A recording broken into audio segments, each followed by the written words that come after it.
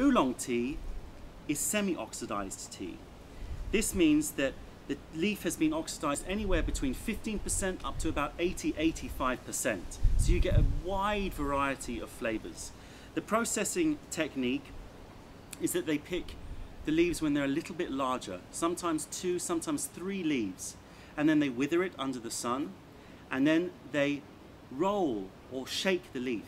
What that does is that starts to bruise the edge of the leaf. And that releases some of the essential oils of the tea which react with the air and start to oxidize. Once the perfect level of oxidation has been reached, they then pan fry the leaf to stop the oxidation process. And then the leaf goes through many different processes of rolling and drying. And you get either a ball rolled oolong, which are oolong leaves that have been rolled into small tightly packed balls, or you have what is known as strip oolong, where the oolong still resembles strips of individual leaves.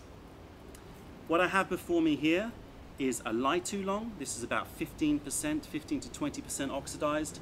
And I have a medium to dark oolong, something in the region of 60, 70% oxidized. They do go darker than this. In terms of flavor profile, because of the fact that you have light oolongs all the way to dark oolongs, it varies very widely. With the light oolongs, you tend to get freshness, but you also get some floral notes and a little bit of creaminess and sometimes some nuttiness.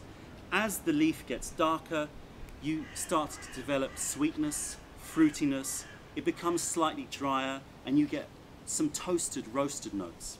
Most of these oolongs, once they've finished the production process, go through some level of roasting just to accentuate the flavors and bring a bit more complexity.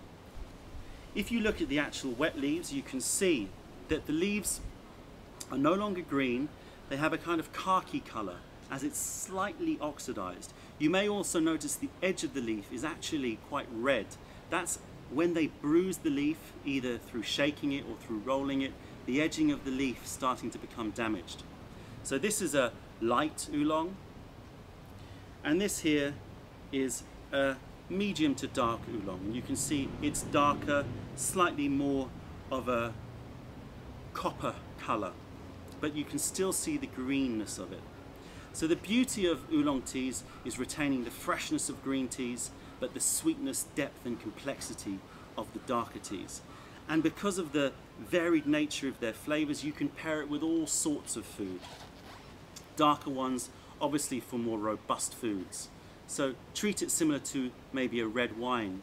So with, with gamey meats or with some rich curry dishes, oolong, dark oolong teas are great. For desserts, green oolongs are perfect because the milky, nutty, creamy notes of the green teas bring out the sweetness and creaminess of desserts. So next time you uh, are looking for something to excite your taste buds, oolong tea is the way to go.